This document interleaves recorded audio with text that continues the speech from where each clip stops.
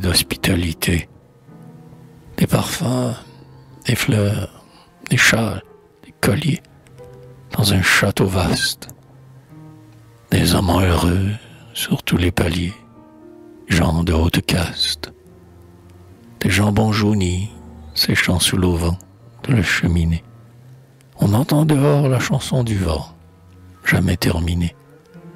Légende empruntée à des temps anciens, plaintive ou lascive. Des chats, doux mains, des rudes grands chiens, ont fait la lessive. Dans un coin, parmi les arcs, les filets, les guêtres verdis, des faisans rouillés, des jets violets, plumes refroidies, des poissons luisants bleus sous le fil gris de la carnassière, dont s'embaumeront casseroles, grilles, vapeur de soupières. Et puis, à souper, tout le monde est gris, de vin, de bière,